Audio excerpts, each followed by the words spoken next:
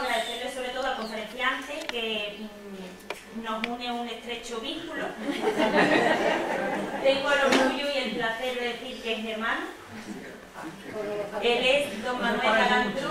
Tu hermano preferido. Mi hermano preferido, además. Ahí está mi hermana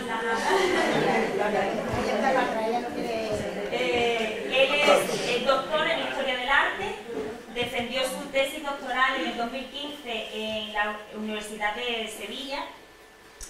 Eh, aparte también, bueno, aparte de muchas publicaciones, muchas miles de publicaciones y varios libros que tiene publicado, uno de ellos dio la luz hace poquito, pues él es especialista en patrimonio histórico-artístico del Rocío. Por ello hoy nos trae una conferencia mmm, sobre la devoción a la Virgen, que espero que os guste y que disfrutéis. Muchas gracias.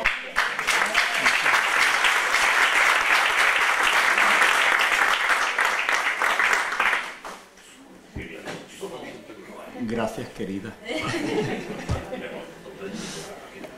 Muchísimas gracias a todos por vuestra asistencia.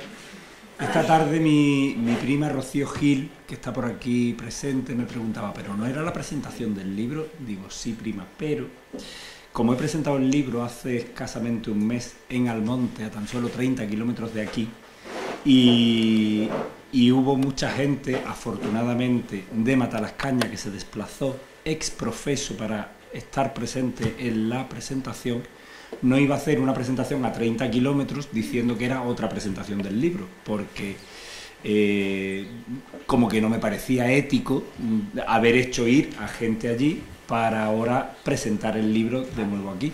Entonces, un poco como le decía esta tarde, digo, es como una presentación encubierta.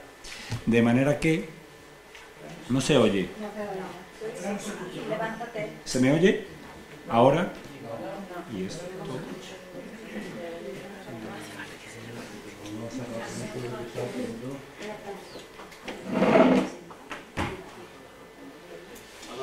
¿Se oye ahora?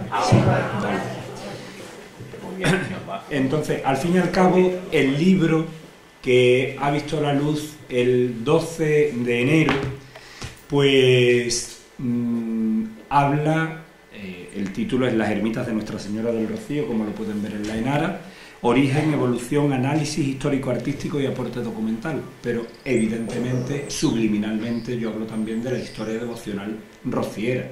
Entonces, Dentro del programa y el proyecto que tenía mi hermana con esto de ser coordinadora de los rocieros de Matalascaña, que quería dar una conferencia aquí, digo, bueno, pues hablamos a nivel general de la historia de la devoción a la Virgen del Rocío, que al fin y al cabo es lo que yo trato dentro de este, de este volumen que, están viendo. Eh, quiero hacer una distinción eh, bueno, antes de entrar en materia, quiero agradecer eh, la asistencia, como os decía.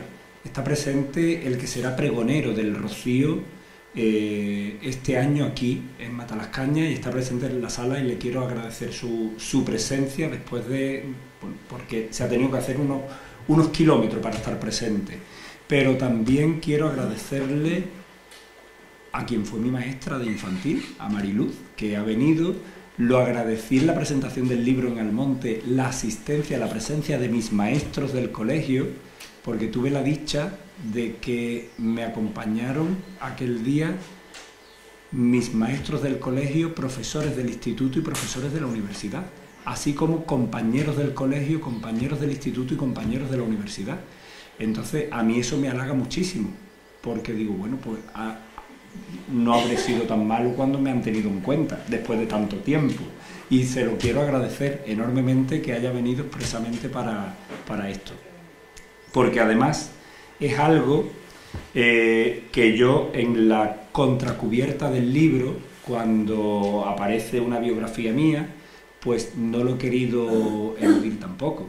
Eh, yo podía haber puesto doctor en Historia del Arte, que hubiera englobado toda mi formación, sin embargo, quise, y así aparece, que la EGB la estudié en el Colegio Público de Unas de Doñana de Matalascaña, el BUP y el COU en el IB Doñana de Almonte y los estudios universitarios en la Universidad de Sevilla porque quería que, que yo escondo mis raíces, al igual que me enorgullece muchísimo, y por aquí está Juan Trujillo Pino, sí. Eh, me enorgullece muchísimo decir que tú lo corroboras, que estoy limpiando, lavando vasos, subido a una caja de Coca-Cola desde los tres años, porque he aprendido mucho en la universidad y con los estudios, pero más, mucho más, papá, detrás de un mostrador. Eso es así. Bueno, pues entrando en materia para no dilatar mucho más. Vamos, me estoy expresando así porque me siento en familia. Como en casa, primero porque estoy en Matalascaña, que es donde me he criado. Y segundo, en familia porque, bueno, quien me ha presentado es mi hermana, que es la coordinadora. Entonces, bueno. Eh, para indagar en el origen de la devoción a la Virgen del Rocío, quiero hacer una distinción entre el origen histórico y el origen legendario. Se dice que, bueno, que hay una leyenda de la aparición en la que cuenta que entrado el siglo XV de la encarnación del Verbo Eterno, un hombre que apacentaba ganado o había salido a cazar, no centra nada, lo deja todo en una nebulosa, y esa leyenda, que es muy bonita, pero las leyendas suelen tener un pozo de, verdad, pero solamente un pozo, no es todo cierto. Entonces esa leyenda tenemos que tener en cuenta que fue redactada y publicada en las reglas, como están viendo en pantalla, en las reglas más antiguas que conocemos de la Hermandad Matriz de Almonte. Unas reglas que fueron redactadas en 1757 y aprobadas canónicamente en el año 1758 pero claro, tenemos que analizar que ahí aparece la leyenda de la aparición de la Virgen. Si nos paramos a analizar, estamos en el siglo XVIII y les acabo de decir que la leyenda comienza diciendo entrado el siglo XV. ¿Qué está haciendo? Pues dándose 300 años de antigüedad, tres siglos, para que no se pueda corroborar. Si yo les digo mi madre me ha contado tal cosa y a mí no me creen, van y buscan a mi madre y le pregunten y, se lo podrá corroborar. Pero si yo les digo que un amigo de mi tatarabuelo contaba tal cosa, ¿quién encuentra ahora el dato? ¿Me entienden? De manera que dándose antigüedad se daba credibilidad. Por tanto, quería hacer esa distinción y ahora sí entrar en la documentación que nos acredita la existencia de la ermita del Rocío ya en el siglo XIV. Aquí tienen un, extracto, una cita de la carta, de una carta que se conserva en el archivo de la Fundación eh, Casa Ducal Medina Sidonia, en Sanlúcar de Barrameda. Eh, una casa ducal a la que pertenecían todas las tierras que hoy engloban Doñana, el monte, el condado. De hecho, el condado es condado de Niebla, porque el conde de Niebla era el hijo primogénito del duque de Medina Sidonia. Y la carta dice lo que pueden leer. E por el servicio que me vos facedes, e que espero me facedes de aquí adelante, do vos la defesa, la dehesa, que dicen el carrizal y la figuera, que está frontero de vuestra villa de Sanlúcar, cómo se pasa el río entrando por el caño de Braines, la madre de las rocinas, Suso a la carrizosa e el estelo el estero, que dicen del carbón, cabe junto a Santa María de las Rocinas. Es una carta fechada en el año 1309. Y en los años 30 del siglo XIV se escribe en el Alcázar de Sevilla el libro de la Montería, lo manda a redactar el rey castellano Alfonso XI y ahí menciona ya la existencia también de la ermita de las Rocinas eh, y lo, la menciona igual que en esta carta, hace referencia a la ermita mm, como referente para ubicar un lugar. ¿Eso qué quiere decir? Pues que ya la ermita en esos años, principios del siglo XIV, llevaba mucho tiempo levantada y, era sobradamente conocida, porque aquí si preguntamos por el Hotel El Coto en cualquier punto donde preguntemos de Matalascaña nos dicen dónde está, pero si preguntamos por un negocio abierto ayer, probablemente nos cueste trabajo que alguien nos dé una referencia. Eso quiere decir que llevaba mucho tiempo ya levantada. Y eso nos lleva a pensar en la figura de Alfonso X el Sabio como el iniciador de esta devoción. ¿Y por qué él? Pues porque Alfonso X es quien reconquista a los musulmanes el reino taifa de Niebla en el año 1262.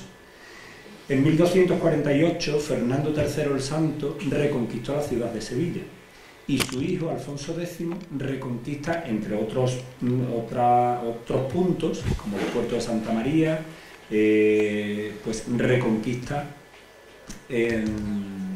Niebla, el reino de Niebla. ¿Qué ocurre? Que el rey castellano, conforme iba reconquistando y tomando sus plazas, iba implantando la nueva religión. ¿Por qué pensamos que fuera Alfonso X? Pues porque él reina hasta finales del siglo XIII. Eh, desde 1262 hasta finales del siglo le dio tiempo a levantar y a reconvertir, a levantar una ermita y a reconvertir esta zona al cristianismo. Y fundamentalmente pensamos que fuera él porque lo que entroniza en la ermita de la Rocina no es una imagen de Cristo, sino una imagen de la Virgen porque para implantar la nueva religión lo lógico hubiera sido colocar una imagen cristífera. Los cristianos nos denominamos así porque somos seguidores de Cristo. Sin embargo, el rey castellano quiere evangelizar entronizando en el lugar una imagen de la Virgen. Y es que sobradamente conocida es la profunda devoción mariana que tenían tanto Alfonso X el Sabio como su padre Fernando III el Santo, que les recuerdo que reconquista Sevilla llevando a la Virgen de Valme eh, en, su campamento. Aquí les traigo un, un grabado coloreado de finales del siglo XVI, eh, lo traigo como curiosidad meramente, es que se ve muy turbia la pantalla, pero eh, el rocío estaba, aquí está el monte y el rocío que ni aparece debía estar más o menos por aquí la ermita. Actualmente, y ahí tienen una imagen aérea de la aldea, fíjense todo lo que ha crecido la aldea del rocío, el santuario se encuentra aquí, en ese punto. Pero si les traigo este mapa que puede ser mucho más clarificador. Quiero que observen estas líneas blancas y esta otra, que todas convergen en este punto. Ese punto es la aldea del Rocío. Y quiero que lo observen porque esas líneas blancas son los caminos que actualmente utilizan las hermandades para peregrinar hasta el santuario del Rocío. Cuando hoy en día cogemos una carretera, uno no asfalta una carretera para ir a algún sitio, sino que coge la carretera que ya existe. ¿Qué sucede? Que cuando empiezan a surgir las hermandades no desbrozan los montes para abrir vías de peregrinación, sino que cogen las vías de comunicación que se venían empleando históricamente. Por tanto, el rocío era un punto crucial en tanto en cuanto era un cruce de caminos. Cruce de caminos que unían los pueblos de la costa de Huelva, de lo que después fue el condado de Niebla, del Aljarafe sevillano y de la costa gaditana de hecho, si observáis en la carretera de Almonte a Matalascañas, si observáis el camino de los llanos, hay alguna señalización que pone vereda de Sanlúcar, porque se sale de Almonte y va a salir prácticamente en línea recta. Eso sigue existiendo hoy. Y párense a pensar que de esas cuatro comarcas que acabo de mencionar, el condado de Niebla, la costa gaditana, la costa onubense y el Aljarafe son las cuatro comarcas de donde empiezan a surgir las primeras hermandades. Así. Está claro que Alfonso X no recibe el sobrenombre del sabio a tontas y a locas, por algo se lo pondrían. Él, ahora que tanto hablamos de redes sociales, lo que hizo aquí fue una red de caminos de comunicación y supo que mm, entronizando ahí una imagen de la Virgen, levantando una ermita cristiana o bien reconvirtiendo un oratorio anterior, reconvirtiéndolo al cristianismo, se aseguraba que la nueva religión iba a ser conocida en un abanico amplísimo de localidades. Como curiosidad les digo que actualmente la única hermandad que conserva su antigüedad eh, de la provincia de Cádiz es Sanlúcar de Barrameda, pero sabemos que en el siglo XVIII tanto Sanlúcar como Rota, como el que se denominaba entonces el Gran Puerto de Santa María, tuvieron hermandad filial en el Rocío. Es más, sabemos que Rota tenía una casa de hermandad ya en el siglo XVIII en la propia aldea. Si vamos avanzando, vemos, aquí les traigo una imagen del testamento de Baltasar III, una figura que fue más importante de lo que habitualmente podemos pensar. Baltasar III era un sevillano que emigra a América para hacer lo que se llamaba la carrera de Indias en el siglo XVI y bueno, se va con la intención de hacer negocio allí, ganar dinero y volver para tener mejor vida aquí. Pero resulta que nunca regresa. Y viéndose próximo a la muerte, pues redacta su testamento en la capital del Perú, cuando todavía no se llamaba Lima, se llamaba todavía Ciudad de los Reyes, tenía su, nombre primitivo. Y redacta su testamento en el año 1587. Y en él debió tener una historia devocional con la Virgen muy fuerte, porque a pesar del tiempo transcurrido y de la distancia geográfica, no se olvida de esta devoción y en el testamento le deja una partida considerable de dinero diciendo que eran 2.500 pesos de plata ensayados eh, para la creación, la fundación de una capellanía en la ermita del Rocío. ¿Eso qué quiere decir? Pues que, bueno, él decía en la ermita de Nuestra Señora de las Rocinas, término que está de la villa de Almonte. Pude leer el original en el archivo, eh, el original no, porque el original está en Lima, pero se hicieron dos traslados de la época y pude leer ese traslado original en el archivo de Indias de, Sevilla y el otro, el otro traslado del testamento, un traslado de un testamento es una copia literal. Se conserva en el archivo de, municipal de Almonte. Y deja ese dinero y además especifica cómo hay que invertirlo y gestionarlo. Dice que una parte se dedicaran a la edificación de la casa para el capellán, porque lo que iba buscando es que la ermita tuviera culto propio y culto diariamente, y para ello necesitaba facilitar que un sacerdote estuviera allí permanentemente. Y el resto del dinero, está claro que era un hombre de negocio, el resto del dinero se invirtiera en la compra de tierras y de ganado y que se arrendaran y que con el producto de esa renta se sostuviera la capellanía.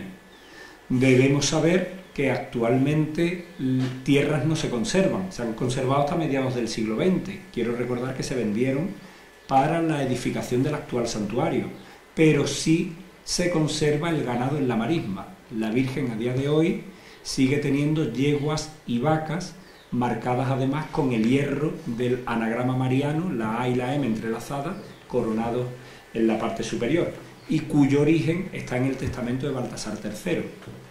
Pues este hombre fallece unos años después, su dinero llega a Sevilla, a la Casa de la Contratación, en el año 1610 y las primeras obras en la ermita del Rocío se, empieza, se llevan a cabo en el año 1611, como tienen documentado en el libro que os presento y a lo largo de todo el siglo XVII se llevan a cabo distintas obras de mayor o menor envergadura eh, para tener en buen estado el edificio religioso. Tengan en cuenta la humedad permanente que hay en el rocío, incluso en verano, y los cambios tan bruscos de temperatura y lo deleznable de los materiales constructivos, a base de ladrillo, de barro cocido y paredes encaladas y techumbres y cerramientos pues con madera que era lo propio del, lugar. Por tanto las maderas había que estar cambiándolas casi permanentemente.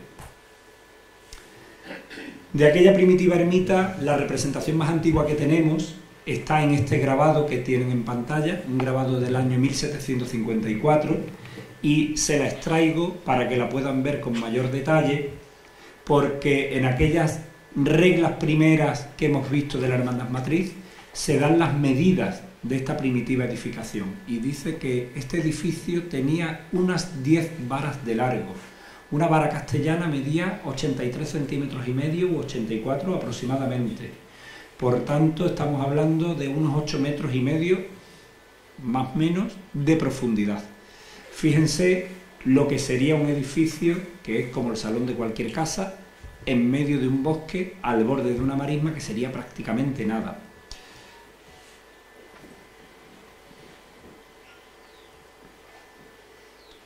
Y esto sí ya es fotografía de esa de la ermita que le siguió a la que están viendo en el grabado, porque la ermita que ven en el grabado en la imagen de la izquierda eh, fue, sufrió graves daños estructurales con el terremoto de Lisboa del 1 de noviembre de 1755.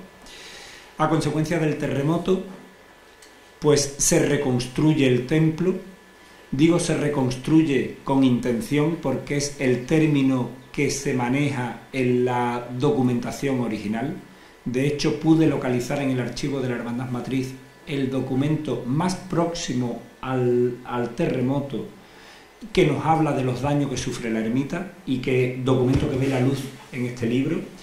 Eh, es un documento, una carta que se escribe justo una semana después de producirse el terremoto.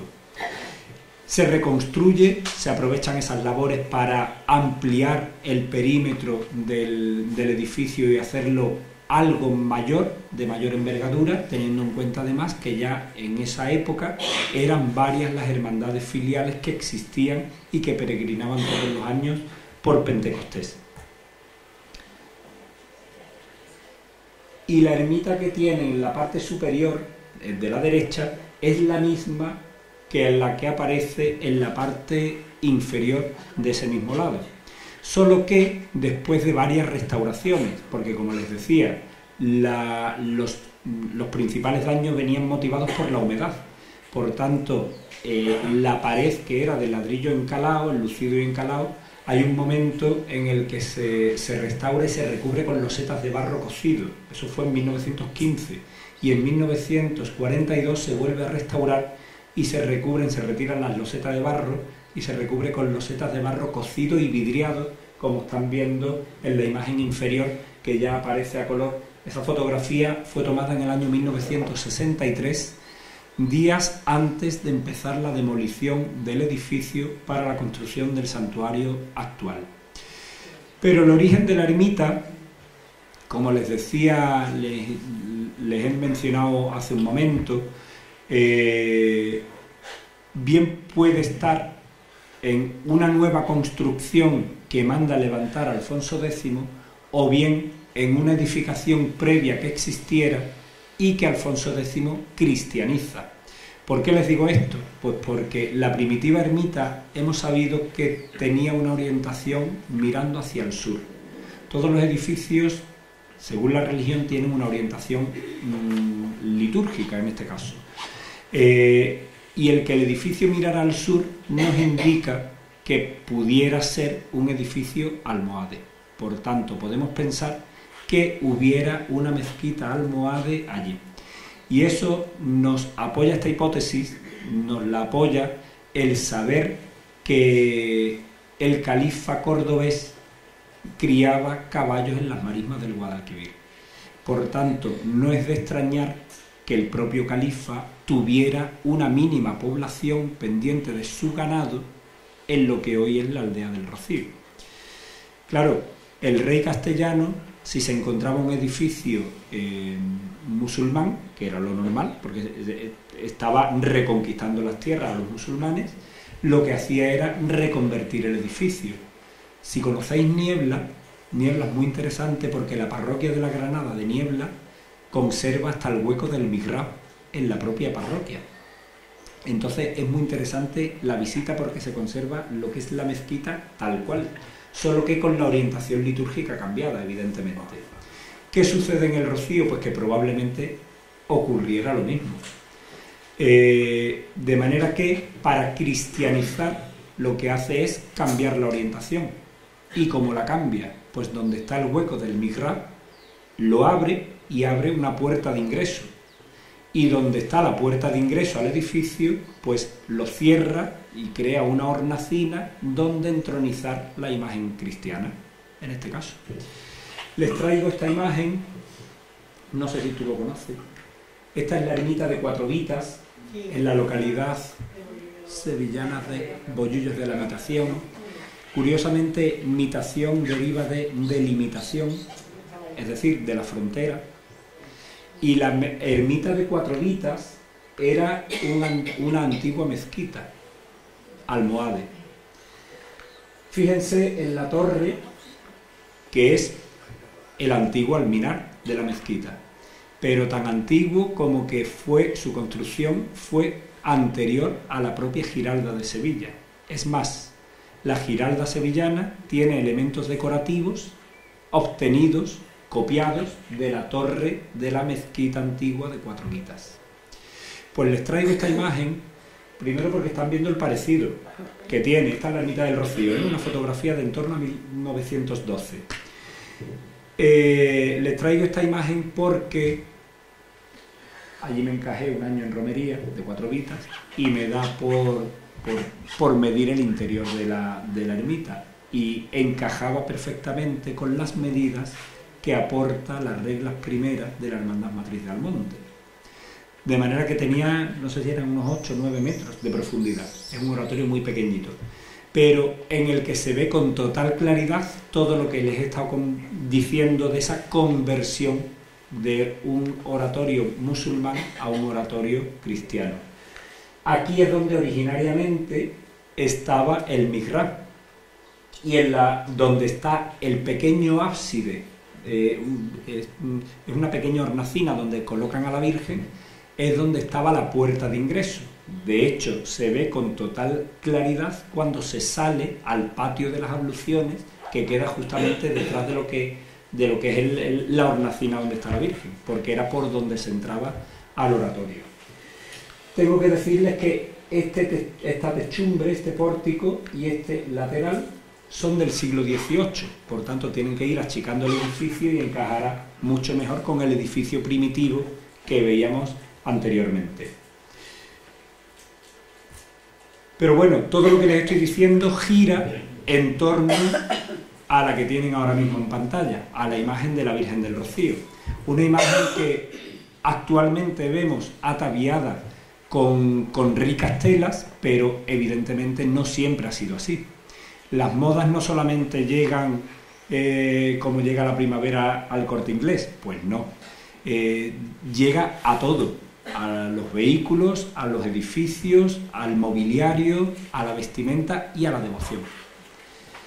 Y no siempre las imágenes han aparecido ataviadas con telas como si estamos habituados a verla actualmente.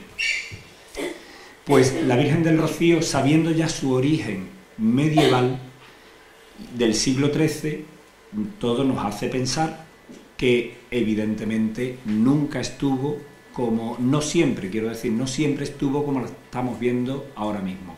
Si es verdad que hay un momento de la historia en el que se fija su iconografía y la vemos tal como aparece en la pantalla, que de hecho mm, tanto se ha fijado que solo con ver la silueta somos capaces de reconocer a qué advocación hace referencia. De hecho, me parece que lo último que se ha puesto de moda es los tatuajes solamente con el, efectivamente, el perfil de, la Virgen, con las ráfagas de punta que son las que están viendo en la pantalla. debemos entender que la imagen originariamente debía aparecer ante los ojos, de los fieles, pues como la están viendo en, la imagen que tienen proyectada.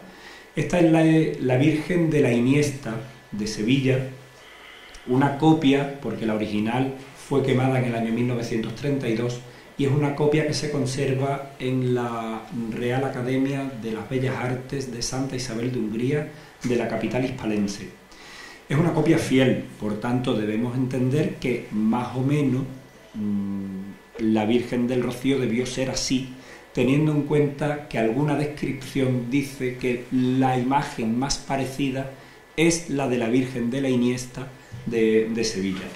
Por tanto, debía parecer algo parecido. No sabemos exactamente cómo, pero bueno, porque no lo hemos visto, pero por la, documentación manejada y quien la ha podido ver, lo poco que hay escrito, pues debemos intuir que fuera así. Llega la moda de vestir las imágenes y esto es a principios del siglo XVII. Y evidentemente a la hora de vestir la imagen, de ataviarla con ricas telas, pues a quién tomo como modelo? Pues a la mujer que está en la cúspide de la sociedad. ¿Quién era? Pues la reina y las infantas. De manera que para vestir a la Virgen, no a la Virgen del Rocío solo, hay muchísimas imágenes que copian su vestimenta en, la reina y las infantas de la corte de los Austrias. Tienen en la pantalla el retrato de la infanta Isabel Clara Eugenia, hija de Felipe II y gobernadora de los Países Bajos, y un retrato que fue pintado en el año 1585 aproximadamente que se conserva en el Museo del Louvre. Lo que quiero es que analicen todas las piezas de su indumentaria, el corpiño, las mangas, las sobremangas y la falda acampanada, puesta sobre un guardainfante para impedir que el varón se acercara en demasía a la, a la mujer. Pues memoricen la vestimenta porque si analizamos la indumentaria de la Virgen del Rocío es prácticamente la misma. Fíjense en la falda acampanada, las mangas que hoy en día prácticamente no se le ven por este vuelillo que lleva al final de ellas, el corpiño que va justo detrás del niño y la sobremanga ese triángulo que ha derivado en ese triángulo que va sobrepuesto en la vestimenta y el origen era esta sobremanga que están viendo que pendía desde el hombro y llegaba a sus puntas hasta prácticamente el suelo. Y así aparece, como les decía, la, la Virgen. Si vamos, y cambiando un poco de tercio, hablamos de los traslados de la Virgen hasta, hasta el monte unos traslados que hoy en día se celebran eh, programadamente cada siete años y su estancia en Almonte durante nueve meses no siempre ha sido así. Así se fija ya en la segunda mitad del siglo XX, pero el origen de los traslados era la necesidad del pueblo de Almonte de tener a la Virgen cerca. Cuando yo esto se lo explico y he ido a algún colegio a explicarlo y todo eso, eh, para que me entiendan mejor, digo, mirad, eh, al monte llevaba a la Virgen cuando la necesitaba. Uno llama a su madre cuando le duele la cabeza, pues así. Rara vez se llama para decir, mira que me ha pasado esto, y una alegría. No, mira que me ha llegado una multa. Pues eso, sí, llamamos y lo decimos. Pues cuando humanamente no había una solución que aportar, pues al monte recurría a la ayuda divina. Eso quiere decir que la Virgen podía ir muy a menudo o bien cada mucho tiempo, como de hecho así ha sucedido. Y la estancia evidentemente era solamente para las rogativas y la Virgen era llevada al rocío de nuevo. Al monte siempre ha tenido claro que el sitio de la Virgen era el rocío, no al monte. De manera que se llevaba, se le pedía, se le rogaba y se volvía a llevar. Recuerdo que hay hay algún traslado en el siglo XVIII, 1732, que en tres meses la Virgen fue tres veces. Como no llovía, y traemos a la Virgen y le rogamos que llueva. Y como no llovía, y bueno, se devolvía, se llevaba de nuevo al, rocío, como no llovía, pues vamos de nuevo a por la Virgen, y, volvía a venir. Y se, se volvía a llevar a la aldea, y como seguía sin llover, pues otra vez vamos a por la Virgen. En tres meses, tres veces, hasta que llueve, ¿eh? ojo. Pero también es muy bonito saber que la Virgen respondía a estas solicitudes, porque hay un, un acta del Ayuntamiento de Almonte del año 1753 en que dice que a los cuatro días de haberse traído a su majestad, que era la Virgen, nos mandó el santo rocío de la lluvia. Así. Es precioso leerlo porque claro hay que entender que quien está redactando eso en el archivo municipal eh, lo ha estado viviendo días antes porque de hecho es un acta de una reunión de cabildo, porque en ese cabildo, por haber llovido, el ayuntamiento libra una cantidad de dinero para comprar un retablo a la Virgen en agradecimiento por haber traído la lluvia. Así, pero con tan pocas palabras la profundidad del mensaje que transmite. Pues para esos traslados la Virgen viste, como denominamos popularmente, de pastora, pero realmente la Virgen no viste de pastora. La Virgen, una, una divina pastora no lleva los elementos que vemos en la indumentaria de la Virgen del Rocío. Suele ir sentada en un risco, acompañada con unas ovejas, eh, con su mano apoyada en un báculo, eh, con un sombrero, con un con, chaleco de, borreguito, en fin. la indumentaria es totalmente diferente. Tenemos que decir que la Virgen del Rocío viste a la moda de los Austrias, pero con el traje de viaje de estas mujeres, el traje que empleaban cuando la corte cambiaba de lugar. Tenemos que entender, de hecho, fíjense que los trajes, eh, y mm, veíamos de dónde aparece el traje de reina, porque está copiando a la reina y a las infantas y por eso se denomina así, y el traje de reina, que era el traje de corte, era un traje más rico, con telas ricas y enriquecidas. Es decir, las telas podían ser de seda, de terciopelo y bordadas, enriquecidas. Sin embargo, el traje de viaje era con telas ricas, evidentemente, con sedas y terciopelo, pero brocado, porque entre otras cosas, que al fin y al cabo llevan los mismos materiales, seda y oro, pero entre otras cosas la técnica es distinta y mm, facilita que la tela se pueda doblar. Un tejido bordado no se puede mm, doblegar, sin embargo un tejido brocado sí, lo puedes doblar y meter en cualquier lado. Tenemos que tener en cuenta que los viajes evidentemente lo hacían a lomos de un caballo o sentados en un carro, de manera que pasaban mucho tiempo eh, en el camino y tenían que llevar un traje lo más cómodo posible y el sombrero tiene un sentido. Y el sentido del sombrero es evitar que a la dama le diera el sol. Porque ahora está de moda estar moreno. Y cuanto más negro mejor. Pero resulta que antes era un desprestigio porque era síntoma de estar trabajando. De ahí viene también el llamarse de sangre azul, porque era tal la blancura de la piel que eh, se traslucía la sangre por las venas.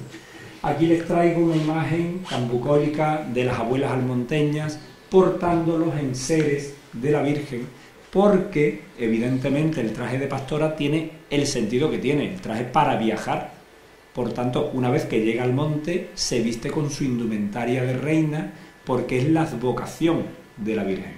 Y su advocación aparece, como la ven ahí, como la mujer del Apocalipsis, mujer vestida de sol coronada de estrellas y con la luna a sus pies. Así se entiende la vestimenta, la indumentaria de, la Virgen del Rocío.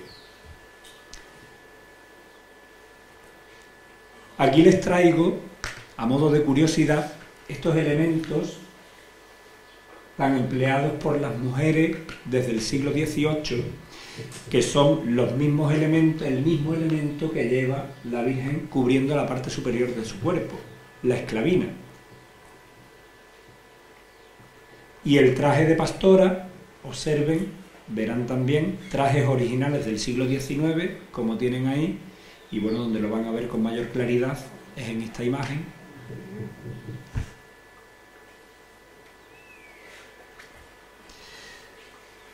La lazada del sombrero no tenía un sentido ornamental, sino funcional. Si la mujer iba en un carro o, a lomos de un caballo, la lazada no era tan lazada, sino que el lazo tenía que servirle de barbuquejo y evitar que el sombrero le saliera volando. Evidentemente, en la imagen sagrada, esa funcionalidad deriva al final en una finalidad meramente ornamental. De hecho, probablemente lo que le dé el nombre de traje de pastora sea la decoración del sombrero, que es a base de flores.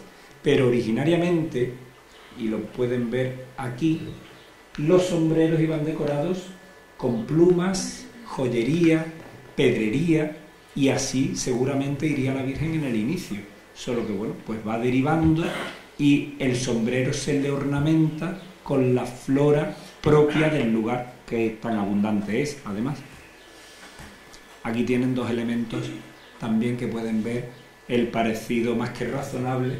Son los dos de terciopelo bordado, ¿eh? son de mujeres ¿eh? y son originales. Y aquí tienen la, la imagen. Observen estos corazones que lleva la Virgen prendidos aquí en la, en la saya. Esos corazones son exvotos metálicos. Actualmente el santuario no tiene un, un espacio dedicado expresamente a recopilar esos exvotos. Sí se siguen recopilando, pero no hay un espacio dedicado a ellos expresamente. Digo esto porque la ermita antigua del Rocío, la que se levanta tras el terremoto de Lisboa, pues tenía lo que se conocía como el cuarto de los milagros. Y en aquella sala, pues los devotos que en agradecimiento a la Virgen por algún favor recibido llevaban algún enser, pues lo, lo colgaban en el hueco que veían libre. Por tanto, el horror vacui, el miedo al vacío, era lo que imperaba en aquel espacio. Y de hecho hay alguna fotografía en blanco y negro muy curiosa porque se ven las paredes todas recubiertas de cuadros sin orden ni concierto, porque los iban colgando donde hubiera un espacio. Pero no solamente colgaban los cuadros, colgaban los cuadros, estos corazones de plata, muletas, mortajas. Eh, ¿La Virgen de Regla ahí?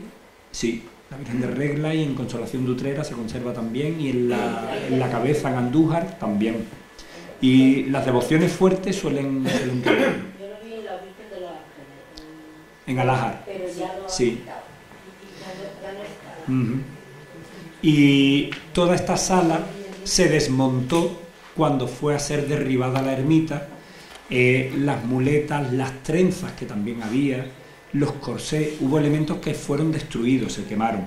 Pero evidentemente estas piezas se conservaron al igual, afortunadamente, que las pinturas. Unas pinturas, algunas muy naif, pero muy curiosas y que pude estudiar además también para, la tesis doctoral. Pues de estos corazones les extraigo este que fue regalado por la Casa Real Española a la Virgen del Rocío con motivo del fallecimiento del infante don Carlos de Borbón y Borbón. Para que lo ubiquen, este chico era, porque murió muy joven, hermano de doña María de las Mercedes, madre de don Juan Carlos pues se lo regala la Casa Real a la Virgen en el año 1936. Está en la inscripción dice que fallece entregando su vida por Dios y por España frente a Eibar, así dice, en el año 1936. Y es que su vida estuvo vinculada desde su nacimiento a la Virgen del Rocío. Se conserva un juego de sacras está expuesto en el tesoro de la Hermandad Matriz, en el santuario. Un juego de sacras, las sacras son tres cuadros que estaban en los altares, luego estaban porque ya hoy no tiene utilidad litúrgica, con el Concilio Vaticano II esto se mm, cambia, y, pero bueno, es verdad que se conservan en muchos lugares y este juego de sacras de plata pues los conserva la Hermandad Matriz expuesto permanentemente en el, en el tesoro. Y ese juego de sacras hemos sabido, porque no tiene inscripción, no pone el nombre del, donante, pero en la parte inferior de cada marco hay un óvalo y dentro del óvalo un escudo nobiliario. Y por el escudo hemos sabido que fue la condesa de París la que se lo regaló. La condesa de París es, eh, ¿cómo se llamaba? María Isabel de Orleans, eh, que vivía en Villamanrique y por la que Villamanrique se llama de la condesa, por su, eh, porque ella tenía su residencia establecida allí. Y ella regaló este juego de sacras y debajo de su escudo, con muy pocas palabras, puso algo de gran profundidad, porque dejó escrito una abuela muy agradecida, 1908. 1908 fue precisamente el año de nacimiento de este infante, por tanto, cuando fallece, su familia regala eh, como colofón a su vida, pues regaló un corazón a la Virgen del Rocío. Ahí les traigo esta imagen del traslado de 2012. Un pañito, le pongo esto porque eh, sabemos que desde el siglo XVIII a la Virgen se le descubre el rostro en el alto del molinillo, en el chaparral. Tan solo una vez no se le descubrió y ahora os lo comentaré pero el resto de veces, al menos desde el siglo XVIII, sabemos que es allí donde se le descubre. ¿Y por qué allí? Porque aquello era el ejido de Almonte, es decir, era una parcela que estaba a las afueras de la localidad, donde los vecinos llevaban sus animales para, para pastar y, claro, para que la Virgen entrara en la localidad a rostro descubierto de manera que era en la parte más alta de, esa zona, de esa, de esa, finca, en la parte más alta, que se le descubriera el rostro. Y eso se sabe documentalmente desde el siglo XVIII. Y ahí tienen una imagen del traslado del año 84 con uno de los guardapolvos. La Virgen no siempre ha tenido guardapolvo. Uno se compra un abrigo cuando hace frío, cuando lo necesita. Por tanto, la Virgen igual, no siempre lo tuvo. A por la Virgen iba un grupo de 15 o 20 hombres, nada más. 15 o 20 personas andando por un camino, no levanta polvo ninguno. En los últimos traslados se han alcanzado casi el millón y medio de personas, según cifras oficiales. Por tanto, evidentemente, mm, cuando el número aumenta, aparecen unas necesidades que hay que cubrir. El primer guardapolvo a la Virgen se lo regaló don Ignacio de Cepeda y Soldán, vizconde, primer vizconde de la Palma del Condado, para el traslado del año 1949, probablemente porque ya viera que en el traslado previo había unas necesidades que ya había que solventar para el siguiente. Por tanto, para el traslado del año 49 ya tuvo la Virgen su primer guardapolvo. Y aquí les traigo esta imagen del traslado de 2005, llegando la Virgen al monte, donde en las esquinas se les va rezando la salve dirigida por, el, por los curas del pueblo. Cambiando un poco de registro, pues nos vamos a una parcela muy concreta de la devoción a la Virgen del Rocío, cuál es la, el Rocío Chico. ¿Por qué se celebra el Rocío Chico y por qué se celebra en agosto? Pues les traigo esta cita bibliográfica porque creo que de todo lo que se ha escrito puede ser lo que más eh, o lo que mejor condense lo que es el rocío chico. Creo, se lee bien, ¿no? Vale. Pues el rocío chico, como dice la cita, eh, pone de manifiesto esa vinculación, esa relación materno-filial del pueblo de Almonte para con la Virgen. Nuevamente, ante una necesidad perentoria que no tiene solución humana, pues recurrimos a, la, ayuda divina. Sucede que en el año 1808, como saben, las tropas de Napoleón invaden la península ibérica. Almonte no se iba a quedar atrás, evidentemente. Almonte resulta que en Almonte establecen una milicia y, y, establecen un cuartel, un acuartelamiento en la casa que actualmente lo sigue siendo de la familia Cepeda. En aquel entonces su propietario era Rafael de Cepeda y establecen la casa, el cuartel allí. ¿Por qué cogen esta casa? Primero porque, mm, vamos, fundamentalmente, porque era una casa tan grande, lo sigue siendo, que para establecer un acuartelamiento necesitaban muchísimo espacio.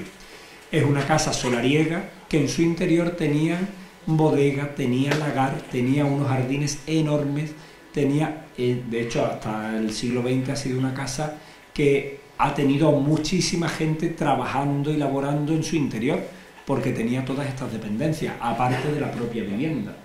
Por tanto, los franceses establecen allí su, cuartel. Eh, a la localidad de Almonte le exigían diariamente una cantidad de, de, cosas que Almonte se harta y dice, bueno, pues hasta aquí hemos llegado. Pude leer toda esa documentación en el archivo municipal de Almonte, se conservan muchísimas cartas, son varios los legajos que, se conservan. Y es muy interesante ver que todo eso está sucediendo en el momento en el que se está escribiendo, eso es lo mejor, eh, o por lo menos lo más interesante para el investigador. y claro, al monte le pedían raciones de carne, raciones de vino, raciones de aguardiente, raciones de pan, raciones de grano para el sostenimiento de la caballería, eh, pedían cabezas de ganado, fundamentalmente vacas. Hay un momento en el que piden cabezas de caballos, que dice, me, me llamó mucho la atención porque curiosamente dice que sabemos que tienen muchos y muy buenos. Así. Detrás de cada carta de solicitud llegaba una carta de amenaza diciendo y aténganse a las consecuencias si la solicitud no es atendida correctamente. Pero claro, Almonte se harta cuando le solicitan que toda la población masculina de la villa de Almonte, cuyas edades estuvieran comprendidas entre los 15 y los 65 años, se alistaran al ejército francés. ¿Esto qué quiere decir? Pues que se llevaban a toda la mano de obra trabajadora. Dejaban solamente a los niños, a las mujeres y a los, a, los hombres mayores. Llevándose a la mano de obra trabajadora, pues mataba de hambre a la población. Y Almonte dice, hasta aquí hemos llegado. Y pone pie en pared. Y un grupo de 39 patriotas almonteños asaltan el cuartel en el número 7 de la calle del Cerro, en aquel domicilio que había sido de don Rafael de Cepeda, asalta el cuartel, eh, inicia un tiroteo desde el zaguán, de hecho uno de los tiros, eh, el primero, se lleva a cabo, se produce mm, justamente debajo de la mirilla del portón con intención de herir al militar que estuviera de portero. Aquí les traigo este arma que es original de la época. Lo traigo porque mm, les decía que para el investigador es muy interesante ver la documentación original y es muy enriquecedor. Pero les traigo eh, un arma de la época, les traigo este, este documento de la época, escrito en aquellos años, sobre todo porque el nombre del mariscal Sul aparece también vinculado a la historia de, del Rocío Chico. Todo esto sobre todo porque cuando nos cuentan historias antiguas creemos que, bueno, sí, pasaría, pero cuando vemos todo esto, aunque seamos conscientes de la lejanía temporal de lo sucedido, de los hechos, lo vemos, lo vivimos y lo sentimos como más cercano. La casa de la familia Cepeda es la que tienen en pantalla y la puerta principal, observen la distancia que hay hasta la parroquia, la casa es todo esto y gran parte que queda al otro lado porque el ángulo no, permitía que, que, saliera íntegro y ahí tienen la puerta principal y en el interior estaba el portón del zaguán que actualmente se conserva en dependencias de la Hermandad Matriz. La familia Cepeda lo retiró de su emplazamiento original, hizo otra puerta para colocarlo allí porque quiso que a modo de reliquia el portón que quedaba como testimonio de los hechos acaecidos en el año 1810, eh, pues que los tuviera y lo atesorara la Hermandad Matriz en sus dependencias. Observen, esta es la mirilla, por, ese, por eso ese círculo casi perfecto. Estos son tres clavos y este es el agujero de la primera, del primer disparo un agujero que, como van a ver en la siguiente imagen, no solamente atraviesa la, tablazón de la puerta, sino que atraviesa hasta el travesaño. Ya pueden ver la, fuerza que aquel disparo debió tener. Eh, el grosor es el del dedo índice, por tanto ya se pueden figurar. Aquello inicia una trifulca en el interior del cuartel, que les recuerdo que eran 39 las personas asaltantes, y en el cuartel estaban, según la documentación manejada, 88 soldados más el capitán. Por tanto, los asaltantes eran menos de la mitad. Bueno, pues mataron a cinco personas, a cinco soldados, más el capitán, y dejaron retenida a toda la tropa. Evidentemente, esto avergüenza al ejército del todopoderoso Napoleón. Lo avergüenza de tal manera que manda el mariscal Sul, que hemos visto su nombre, que desde Sevilla vaya, se desplaza hasta la villa rebelde de Almonte, así dice la documentación, un destacamento de 800 infantes del ejército francés, para que saqueen y degüellen a la población. Así. Almonte, ¿qué hace? Pues lo que les venía diciendo. Uno llama a su madre cuando le duele la cabeza. Pues la Virgen había sido trasladada al monte a principios de 1810 cuando la cosa se estaba viendo tan apretada. Y esto sucedía en agosto de ese año, de 1810. Almonte, ante esta situación, se va a la parroquia, se clava de rodillas delante de la Virgen y pide por la salvación del pueblo. Curiosa o providencialmente, este destacamento a la altura entre Pilas y Aznalcázar, estamos hablando de unos 15-20 kilómetros aproximadamente de Almonte, reciben la contraorden y se tienen que volver a Sevilla porque estaban atacando la capital y al ejército le convenía evidentemente más defender la capital sevillana que en una población rebelde como era Almonte. Sea como fuere, la cuestión es que la Virgen una vez más extendió su manto en favor de la salvación del pueblo almonteño que una vez que las tropas de Napoleón se retiran del territorio nacional en 1812, pues en 1813 mm, hace un voto, dice, formal y expreso, y dice también, por siempre jamás y redunda diciendo, esta generación y las generaciones venideras. Por tanto, uno de los días más grandes que tiene la Villa del Monte no solamente es Pentecostés, que lo es, sino también el 19 de agosto, que fue esa madrugada cuando la Virgen eh, actuó en favor del pueblo que la tiene por patrona desde el 29 de junio de 1653. Y cambiando de tercio y yéndonos un poco más hacia adelante en el tiempo, pues nos vamos al momento de la coronación canónica, hecho que se lleva a cabo el 8 de junio de 1919. La coronación canónica se surge, la lanza, lanza la idea don Juan Francisco Muñoz y Pavón, canónigo que fue de la Catedral de Sevilla, canónigo electoral hinojero de nacimiento y rociero de devoción.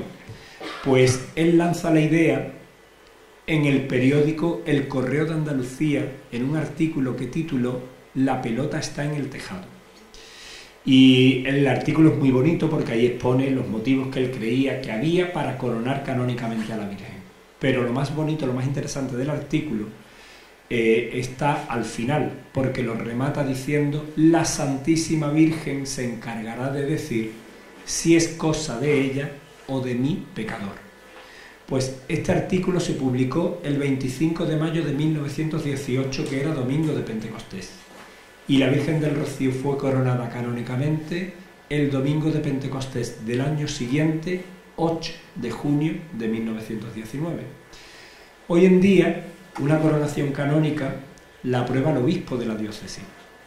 Y la aprueba hoy y se lleva a cabo dentro de 3, 4 o 5 años, cuando digan, pero varios años después de su aprobación. Tenemos móviles, tenemos mm, correos electrónicos, tenemos aviones, tenemos, eh, podemos mandar un WhatsApp, aunque sea a Argentina y llega inmediatamente. Sin embargo, nada de esto existía en aquellos tiempos. De hecho, el primer teléfono a la Villa de Almonte llega en 1915 y llega al ayuntamiento, claro. Pues, ¿cómo sería el trabajo que los rocieros del momento llevaron a cabo para que la coronación canónica que tenía que venir dada desde Roma se llevara a cabo? No solamente eso, sino que la idea de coronar canónicamente a la Virgen se lanza, como les decía, el 25 de mayo de 1918, pues se firma el decreto de la coronación canónica por el cardenal don Rafael Merri del Val en la ciudad de Roma el 8 de septiembre de ese mismo año. Estamos hablando de escasamente tres meses después. Les recuerdo lo que decía Muñoz y Pavón al finalizar, al finalizar el artículo la Santísima Virgen se encargará de decir si es cosa de ella o de mi pecador. No sé si han caído en que el 8 de septiembre la Iglesia Universal celebra la Natividad de María. La Virgen hila muy fino y claramente fue por delante en todo momento. Aquí tienen dos fotografías del acto de la coronación canónica, donde se ve al cardenal Almaraz. Era la primera visita de un cardenal, de un príncipe de la iglesia a la aldea del Rocío, y asistido aquí por don Juan Francisco Muñoz y Pavón en el momento en el que le está colocando la corona a la Virgen. Aquí tienen otras fotografías, espero que la vean. Bueno, es que intenté que fuera algo mejor. Eh, y aquí tienen la corona una corona que se hizo completamente de oro, perlas naturales, piedras preciosas, semipreciosas y diamantes. Y debo decir que la corona se hizo completamente con producto de limosna. Todo fue dorado. Las donaciones llegaban desde todos los ámbitos de la sociedad, desde la Casa Real, el nuncio del Papa en España, el cardenal Ragonezzi, que envió un anillo pastoral desde Madrid, el cardenal arzobispo de Sevilla que entrega otro anillo pastoral para la corona de la Virgen, mujeres que se quitaban los pendientes y los daban para la corona de la Virgen, collares, medallas, colgantes, se donaron hasta huevos, porque los huevos eran productos con los que se pagaban las ditas antiguamente. Y cuando se recogían los huevos, se reunían en docenas o medias docenas y se rifaban y con lo que se conseguía con la, con la rifa, después se compraba el oro necesario para hacer la corona. Pues lo más interesante, y aquí la tienen de frente, es que aun sabiendo todo eso, no somos capaces de identificar la procedencia de cada una de las piezas. El orfebre que la hizo, Ricardo Espinosa de los Monteros, orfebre de la Catedral de Sevilla, debió hacer un trabajo ímprobo para poder ir intentar mm, que fuera lo más simétrico posible, porque no todos eran conjuntos, evidentemente. Un anillo no hace conjunto con nada más. Entonces tenía que ir viendo y calibrando el formato de cada piedra para hacer un conjunto lo más simétrico y lo más igualitario. Pero lo bonito de todo eso está en saber o en analizar viendo la corona que ante la Virgen somos todos iguales, porque el mismo valor tiene en la corona el anillo del, nuncio, eh, los pendientes de cualquier mujer o, el huevo que donara quien, quien estaba sirviendo en una casa y su sueldo a lo mejor era eso. Hay un documento, una carta de don Juan Francisco Muñoz y Pavón, donde dice, se reciben limosnas de hasta quien vive de ellas. Y la primera donación les tengo que decir que vino de un pueblo del condado, no fue al monte, de un pueblo del condado, un muchacho joven, sabemos cómo se llamaba, y donó un alfiler de oro y donó una carta con el alfiler. Y en la carta dejó escrito, para mi madre del cielo, de mi madre de la tierra. Y en esa carta comunicaba que su madre había fallecido unos días antes y no dudó en desprenderse de un alfiler de oro de su madre ya difunta para que estuviera en la corona de oro de la Virgen del Rocío. Pues con la plata que sobró se hizo este rostrillo, el primer rostrillo metálico que tuvo la Virgen del Rocío. Primer rostrillo metálico porque como hemos visto al inicio de esta disertación, la Virgen toma su indumentaria de la, de la reina y de las infantas y observaron el cuello que iba rematado con una gorguera de encaje. Símbolo de virginidad es tener la cabeza cubierta. Por tanto, esa gorguera de encaje en la imagen de la Virgen se avanzaba y remataba el rostro y de ahí le deriva el nombre de rostro a rostrillo. Y el primer rostrillo metálico, como tienen en pantalla, es este, que se denominó de Muñoz y Pavón en agradecimiento a, lo que trabajó este hombre en favor de la coronación canónica de la patrona del monte.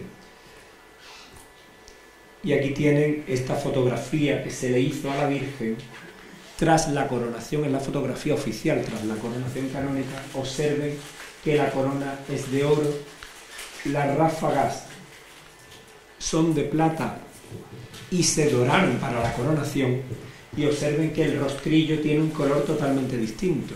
Por tanto, sabemos que la Virgen estrenó el rostrillo en plata en su color. De ahí que hace unos años la Hermandad de la Redención de Sevilla, cuya titular es la Virgen del Rocío, regalara a la patrona del monte un rostrillo réplica del de Muñoz y Pavón en plata en su color para que lo tuviera como lo había tenido en origen. Ahí lo tienen más de cerca donde lo pueden ver con mayor claridad, que es el rostrillo que tienen en pantalla. Y aquí tienen la corona del niño, que fue regalo íntegro de la primera contribuyente de la provincia de Huelva, eh, Juana Soldán y Pérez de Rañón, que era la madre del primer vizconde de la Palma del Condado. Y ella, a ella le solicitan, para no seguir recogiendo oro, pues le solicitan que, por su poder, que fuera ella quien donara íntegramente la corona para el niño. Pues ella lo hace así, su hijo Ignacio deja escrito en una carta, sepan que con las principales joyas de la familia se hará la corona para el divino niño de la Virgen. Y así fue, porque hemos encontrado un retrato de Juana Soldán, pintado por Santiago Martínez, que lleva esta cruz que la remata con 11 eh, diamantes, la lleva ella al pecho. Esta es la corona del niño, la pueden ver porque les tengo que decir que se conservan hasta los estuches de las coronas, tanto el de la Virgen como el del niño. Y esta cruz que les digo la llevaba Juana Soldán en el retrato colgada al pecho. Ahí la tienen. Con motivo de la coronación, Muñoz y Pavón compuso las conocidas como sevillanas de la coronación, que son con las que rematamos cada año el pontifical de Pentecostés, y, las compuso expresamente para aquella romería, como así quedó firmado y testimoniado documentalmente en este abanico con un país de papel eh, que él escribe de su puño y letra dedicado a su hermana, hay un punto en el que está dedicado a mi hermana Concha, así. Romería del Rocío pone coplas para el Rocío de 1919, las compuso expresamente. Y se conserva hasta el hisopo con el que el cardenal Almaraz eh, bendijo las coronas de la Virgen y del Niño en aquella mañana del 8 de junio de 1919. Un hisopo que se hizo con una rama de eucalipto. Yo sabía que era eucalipto porque lo pone ahí, pero recibo, ya que estás en la sala te tengo que nombrar, recibo una tarde la visita de mi primo José María y me dice que por el formato de la hoja era eucalipto negro y a mí aquello se me quedó grabado. Pues bueno, mm, cuando me dice aquello, resulta que para el para el centenario de la coronación canónica de la Virgen que se hicieron la corona para la Virgen y para el niño, las que se denominaron coronas de amor, donde participó toda la familia rociera, la hermandad matriz, las hermandades filiales, asociaciones rocieras, hermandades no filiales, en fin. Pues se hicieron dos coronas de oro y para celebrar, conmemorar el centenario de la coronación canónica. Y una tarde pues tuve un alumbramiento y llamo a mi primo, digo, mira, tú me dijiste un día que esto estaba hecho con eucalipto negro. Dice, sí, puede ser. Digo, ah, pues, por favor te pido que me traigas eucalipto negro de Doñana para hacer un hisopo expresamente para bendecir estas nuevas preseas para la Virgen. Y ahí se me te encajaste con un, lo voy a decir al monteño, con un jace. Y allí fui seleccionando algunas ramas y, lo pude hacer. Intenté que fuera, intenté que, de hecho, creo que hasta la, la, guita con la que lo, la fui cruzando de la manera más parecida y ahora mismo pues se conserva también en dependencias de la hermandad matriz, esperando que esté seco completamente para poderlo eh, introducir en un, en un baúl, como está este, que fue regalado en agradecimiento a don Ignacio de Cepeda. Y gracias a ese regalo, y él que sabía lo que está valorando, él sabía valorar lo que estaba recibiendo, pues lo introdujo en una caja de Taracea, es original de Taracea, no es un, no, un sucedáneo, y está forrada completamente de terciopelo y cubierta con un cristal biselado. Lo reciben sus descendientes, sus herederos en herencia y un sobrino suyo pues lo donó en, no sé si fue 2013, 2014, por ahí cuando lo, no, 2015 o 16, lo, dona a la, lo donó a la Hermandad de La Palma, pero la Hermandad de La Palma decía que ellos mm, creían que donde tenía que estar era en el Rocío. De manera que él hace la donación a la Hermandad de La Palma y la Hermandad de La Palma a su vez e inmediatamente a la, a la Hermandad Matriz y expuesto está. ¿Qué quiero decir con todo esto? Pues que en una devoción no se pueden calibrar las cosas por su materialidad o por su artisticidad, sino por lo que significa dentro de su historia.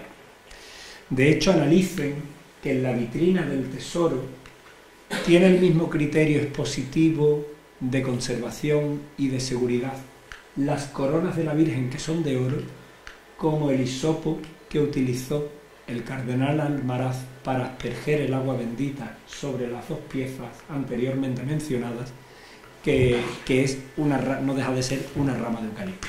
Así que, ¿quién ha hablado? Sí, claro.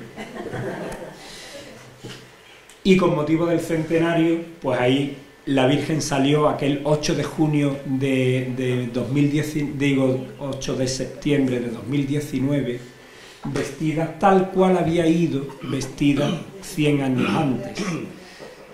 Se celebró el 8 de septiembre el centenario de la coronación porque coincidía, coincidía en fecha con la propia romería de Pentecostés. Entonces se decidió desde la Hermandad Matriz que la procesión extraordinaria se celebrara, se llevara a cabo el 8 de septiembre porque el 8 de septiembre de 100 años antes pues había mm, sido cuando se firma en Roma el documento que aprobaba su coronación.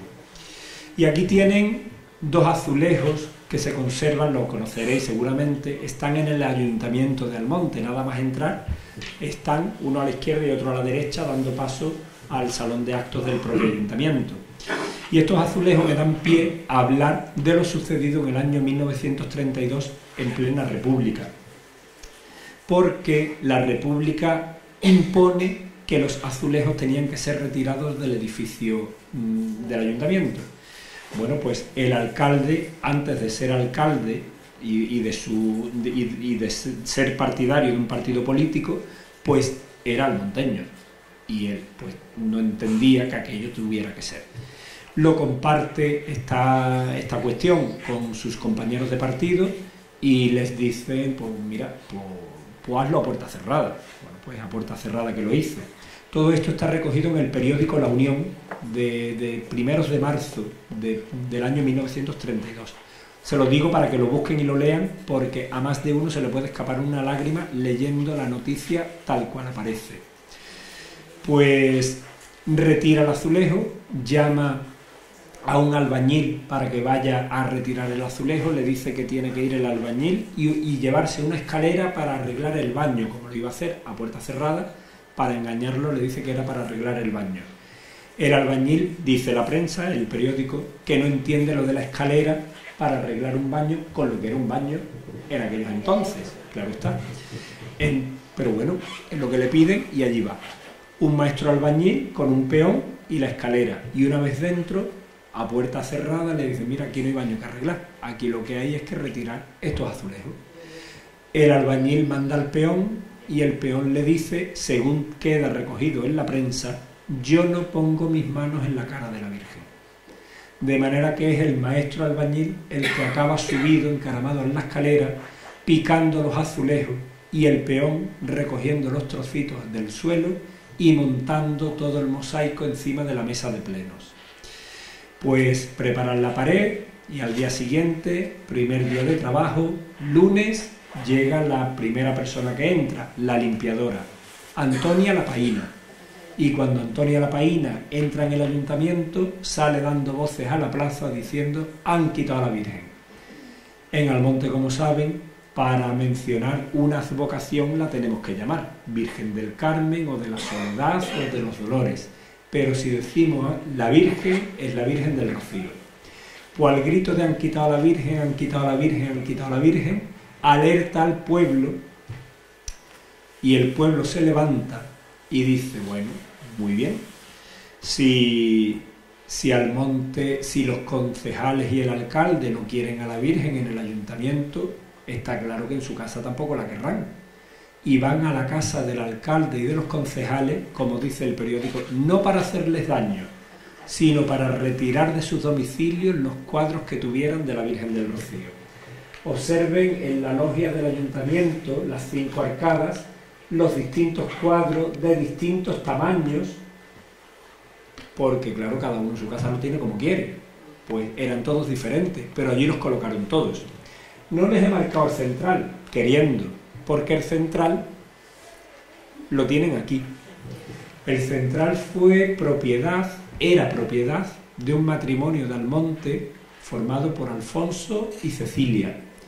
Y ellos, en cuanto se enteran, se van a su casa, descuelgan el cuadro que tenían en el comedor de la casa y se van a la reja del ayuntamiento y lo colocan. Fue el primer cuadro en ser colgado en el ayuntamiento, por eso está en la reja central.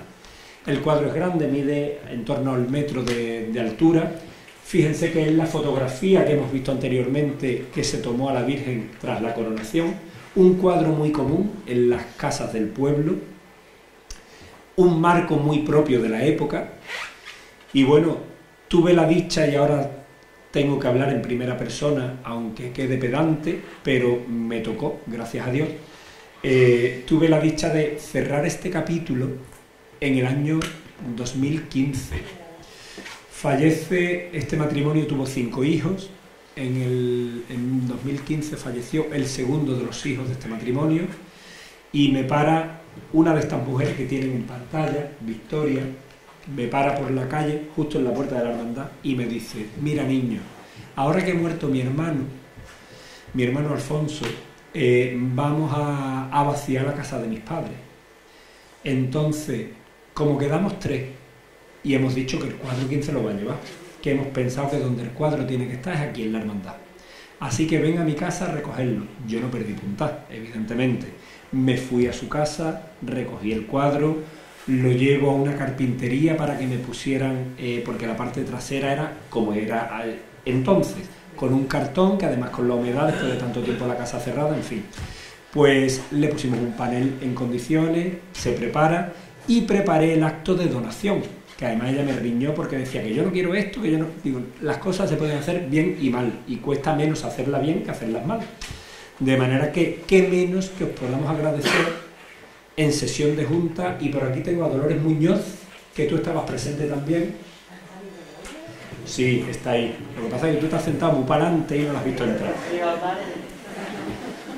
Y en sesión de junta vinieron estas dos hermanas, que daba su hermano Juan, que también vivía, ya fallecido, pero no pudo desplazarse para estar presente. Y hicieron entrega de este cuadro. En la fotografía nos sale, evidentemente queriendo, porque María, ya muy mayor, iba con un andador. De hecho, María no movía los pies para se puso justo para, para la foto. Pero tuvo un gesto muy bonito, no sé si Dolores se acordará, que justo cuando descubren el cuadro, después de haberse leído un documento que preparé narrando brevemente la historia del cuadro, porque si no el cuadro podía ser uno más, pero el cuadro vale lo que vale por la historia que tiene detrás. Mm, preparé el documento para la hermandad, para el archivo y para los donantes, para que quede copia en distintos lugares. Y, después de retirar la tela, María se acercó como pudo y no pudo y le dio un beso al marco.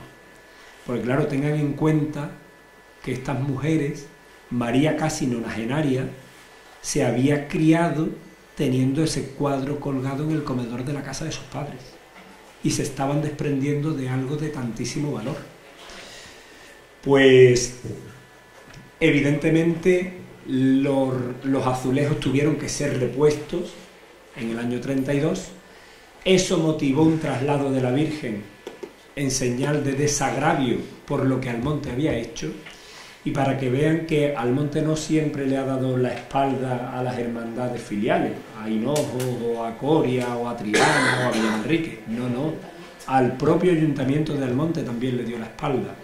Dice el periódico La Unión que la Virgen fue trasladada bajo una lluvia torrencial, fue en marzo el traslado, y dice que el traslado fue bajo una lluvia torrencial. Les he dicho antes que el primer guardapolvo a la Virgen se lo regala don Ignacio de Cepeda en el año 49.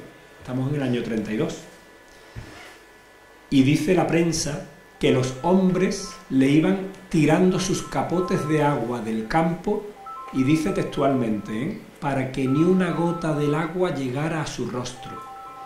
Fue el único año que tengamos constancia que la Virgen a la Virgen no se le descubre el rostro en lo alto del molinillo debido a la lluvia.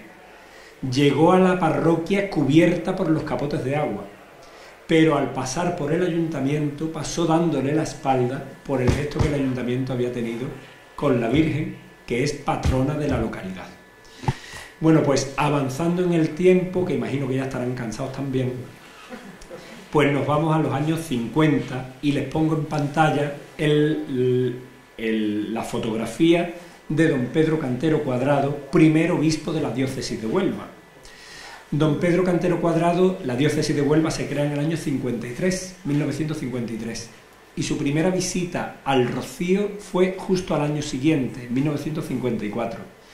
Y en aquella visita dice que, bueno, que a pesar de la carga afectiva y emocional de la actual ermita, la Virgen parece una joya entre nubarrones esto lo tenemos que entender teniendo en cuenta que las dimensiones del edificio eran evidentemente muchas más reducidas que las actuales, los paramentos laterales estaban cubiertos con altares laterales, las techumbres eran de maderas, las paredes estaban encaladas y la luz era a base de velas y de carburos de aceite o de petróleo con lo cual la tizne que todo esto produce se impregnaba los paramentos y oscurecía interiormente el edificio. De ahí que dijera el obispo que parecía una joya entre nubarrones. Bueno, pues lo que él quería era alentar a la devoción rociera, al pueblo de Almonte y a la propia Hermandad Matriz a la construcción de un nuevo edificio, una diócesis que estaban haciendo. Él era consciente, debió ser consciente del potencial que tenía el Rocío, porque ya entonces tenía muchísimas hermandades filiales en muchas partes de la geografía y claro, alentaba la construcción de un nuevo edificio. De manera que en el año 63 se comienza el derribo de aquella ermita del siglo XVIII para comenzar la construcción del santuario actual. Pero mientras tanto la Virgen recibió culto en esta capillita con carácter provisional que se levantó durante el tiempo que duraran las obras. La, primera piedra, ahí lo tienen, a don Pedro Cantero, se colocó en el año 1964, a principios del año 1964. Les debo de decir, a modo de curiosidad, que la capa pluvial que lleva puesta el obispo se conserva. Es un tejido denominado San Felipe del siglo XIX y se conserva. No se utiliza porque está ya ajado, pero, pero se conserva tal cual. Y aquí tienen en pantalla una visita que hizo a las obras el mm, segundo obispo de la diócesis de Huelva, don José María García Liguera, venerable García Liguera, tiene abierta causa de, beatificación a, a las obras del santuario y él fue quien bendijo el santuario en el año 1969. Y ahí lo tienen, la nueva construcción, una obra de los eh, arquitectos Valbontín, eh, Horta y Delgado Roy. Aquí tienen una imagen aérea donde se ve con claridad esta planta de cruz latina. Y en el interior esta máquina neobarroca, este retablo que fue proyectado desde el minuto cero del proyecto de la, de la construcción del santuario. La Virgen siempre ha tenido un retablo. De hecho, para entender la iconografía de la Virgen, tenemos que leer todo lo que aparece alrededor, porque todo ello nos da luz para lo que vemos en el, en el centro. Uno de los momentos importantes de la historia del Rocío, pues la clausura en la aldea de los congresos mariano y mariológicos que se celebraron en el año 1992 con la asistencia de los reyes de España. Pero evidentemente el momento álgido fue la visita de San Juan Pablo II aquel 14 de junio de 1993. Visita que, en la que jugó un papel crucial el tercer obispo de la diócesis de Huelva, don Rafael González Moralejo, que había coincidido con Carol Boitila, siendo obispo todavía, eh, en las sedes del Concilio Vaticano II. Y en aquellas sesiones ambos, eh, eh, ambos eran taquígrafos y entablaron, al entablar trabajo, entablaron amistad. Una amistad que perdura con el tiempo, no se diluye y fue fundamental para la visita no solo al Rocío, sino a la diócesis de Huelva en general. Y ahí tienen dos imágenes.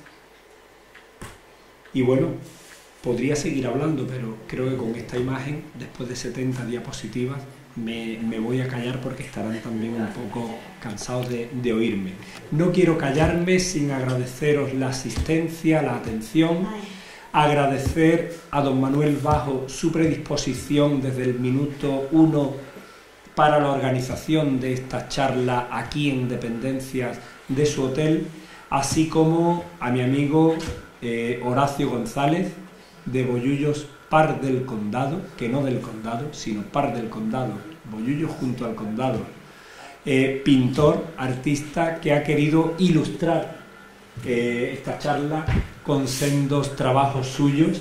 Él se dedica a esto profesionalmente y se me ofreció, de hecho montamos en la Hermandad Matriz dos exposiciones dos años distintos, una Yo, con motivo... Como hablo mucho, te quiero agradecer de, lo más profundo de mi alma, porque tú sabes que yo llevo el rocío en mi alma y que pinto de recuerdos. Por llegarme a lo más interior de mí, porque hoy he aprendido mucho de ti. Mm, no te había escuchado nunca con la atención, siempre te escucho con atención, pero hoy me he dedicado a escucharte, ¿no? Y el futuro lo tienes garantizado. ¿Sabes por qué? No por esto ni por lo otro. Porque hablas desde el espíritu.